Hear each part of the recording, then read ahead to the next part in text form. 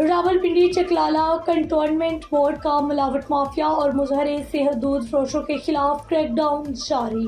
सराय के मुताबिक CEO e Umar Masoom और additional CEO madam Amna Chaklala cantonment board की जेर सरप्रस्ती फूड इंस्पेक्टर मोहम्मद मोहसिन और सुहेल अक्रम का मुजहरे से दूध और मिलावट माफिया की दस दुकानों का मिलावट शुदा दूध तलब किया गया दुकानें सील कर दी गयी मिलावट शुदा मुजहरे सेहत दूध फरोख्त करने वाली गाड़ियों ऐसी भी दूध चेकिंग के बाद तलब कर लिया गया सीईओ e और additional CEO Chaklala cantonment board ने आवाम से कहा कि आवाम की जानों से खेलने वाले और मुजहरे सेहत दूध फरोशों को किसी तौर पर भी चकलाला कंटोनमेंट बोर्ड की हदूद में ऐसा काम करने नहीं दिया जाएगा food inspection team Mohammad Mohsin और सुहेल अक्रम को मजीद कार्रवाइयाँ तेज करने की भी हदायत दे दी गयी